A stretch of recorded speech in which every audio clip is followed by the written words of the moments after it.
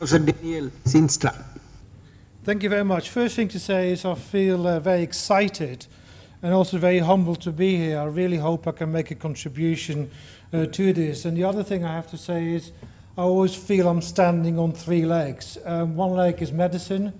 Um, just to give you the background, I graduated in, in Amsterdam and then very quickly became a designer in industry. So leg two is design and industry and have been part of some successes and many more failures.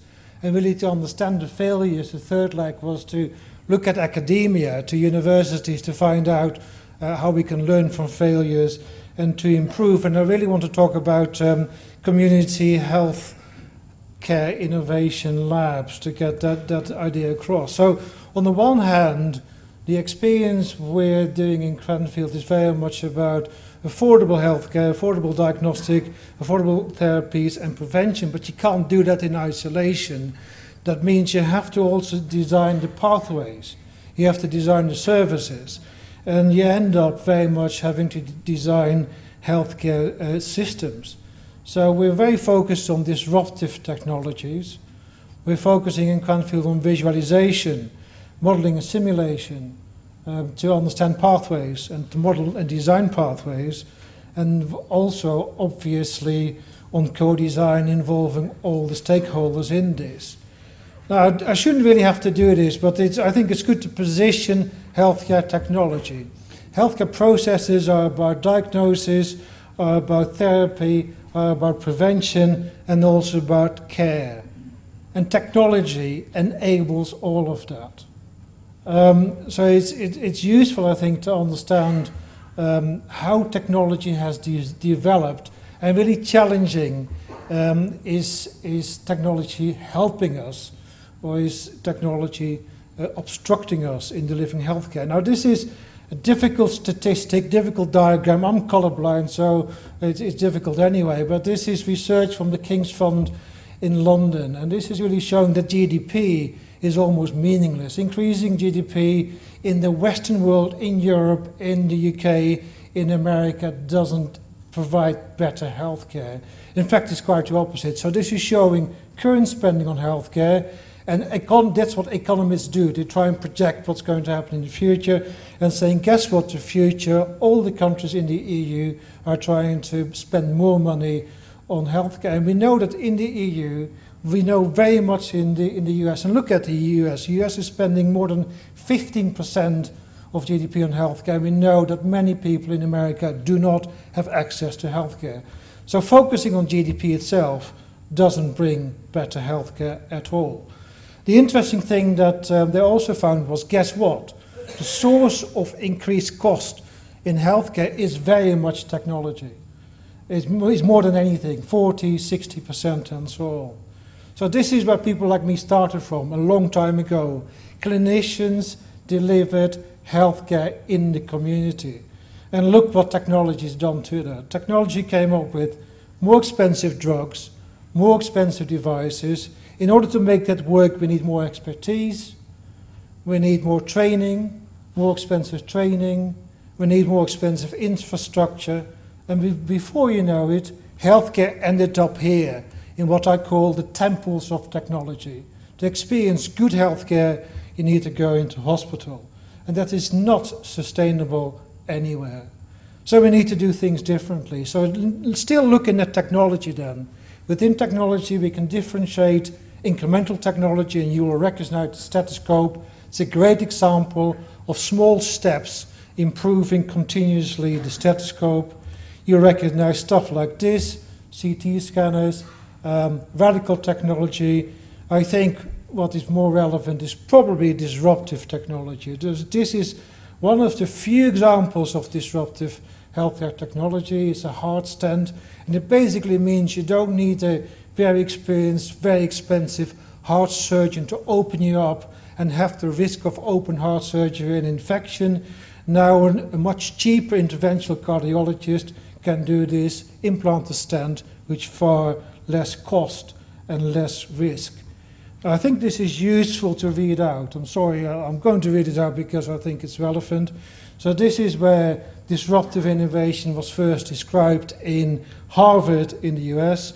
And they're saying that disruptive innovations enable a larger population of less skilled, less wealthy people to do things in a more convenient, lower cost setting, which historically could only be done by specialists in less convenient settings. Well, clearly that is relevant to where we are today. So what we really need to do is start off differently and say we need to drive effective local healthcare in rural areas. When people are healthier, they are going to get wealthier too and have a different spiral of health, wealth, and well being. So break through the current technology spiral into a well being spiral. Now, this is hugely complex. There are many, many challenges that we have to be faced, facing in, in doing this. Now, um, for instance, to go a little bit more in details, here you see a typical health technology value chain. Starts off with the manufacturers. You've got health policy driving that down. You've got health e economics. You've got um, sales and marketing, procurement, regulatory frameworks, and so on. And all of these different stakeholders have different needs and different requirements. And it's our challenge to meet all of these different things. And it's actually very, very, very complex. So Cranfield is doing many things, and I'll pick out one little case study. So we found this device a couple of years ago. Um, and this could be a disruptive innovation. So this is a portable ultrasound device. And we found out, although it's small, although it's portable, although it's affordable, it's not a success at all. It's not being used. So why is it not being used? We found out because people don't have the skills. They solved the wrong problem. The problem is not to make it portable. The, the problem is do you, how do you get people to, to get the skills to use this technology? So they solved the wrong problem. So what we then did in Cranfield is try and solve the, the other problems around this. So we said, okay, let's come up with an app to give people that aren't skilled in ultrasound to give them decision support. So give them reference libraries of images, tell them where to put this device, how to get started, and so on.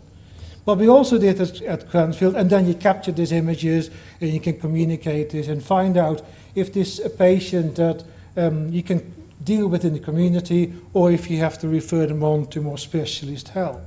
What we also did was, was mapping the pathways and say if you introduce this potential innovation, how is the pathway going to change? What are the costs associated with the change of this pathway? What are the benefits uh, for the system, for the patients and so on, for changing this pathway? So we're not developing new scientific technologies, we're developing the peripheral, the enabling technologies to make this stuff work. Um, so I think this is where, where we're sort of at. We're saying, okay, you want to innovate. And, and, and this is where you are today. You've got all sorts of stuff going on today. The first thing you need to do, importantly, is have a shared dream. You know, what is your dream about healthcare? Share that first. And then it is obviously about developing new products, but also developing organizations, also developing new business models, also developing new processes, and guess what? Also developing new services. And you cannot do this in an ivory tower. You have to start off with very much engaging with the, end user. And guess what? All of these things you have to do at the same time, simultaneously. You can't stick to just one dimension. And then I'm so pleased that it was mentioned before. Obviously, it's about co-design and co-creation. We can't do it to people. People, we can facilitate people to do it for themselves. Um, so we got into co-creation as well, and this is the starting point. So this is the wrong starting point. So it's not taking high tech, expensive tech, and making it low cost. That's the wrong starting point. The starting point has to be where are people, understanding people, working with these people, and getting them to a different, better well-being. So the starting point has to be different. And I think what I mentioned before, the community healthcare innovation labs are about, it sounds a bit e economics speak. I'm not an economist, as you know. I'm a designer, medic, etc. But it is, I think, about four forms of capital. One is fiscal capital, so it's about new products, it's about new services, new infrastructure in communities, in rural areas. It's about developing human capital in rural areas, so it's new capacities, new capabilities, new skills. It's about social capital, it's about increasing trust and collaboration, and it's about intellectual capital, capital new knowledge and learning. Um, so I think there's two direct imminent opportunities for the research, research councils in the UK. Uh, one uh, for the EPSRC and one for the um, Arts and Humanities Research Council. And what we want to see, I think, in Cranfield and you all is action. Um, so we're here to build partnerships. Come and talk to Raj, come and talk to me. Um, and it's not just about talking, talking is just the beginning. It's very much about how do we build action, how do we build partnerships. We would love to approach communities, find out pilots, work with, with pilots, identify target diseases. Diabetes is a global issue. Alzheimer's is a, is a global issue. Let's find targets that are relevant to the UK, that are very relevant to India, relevant to Europe, and relevant to, to the rest of the world.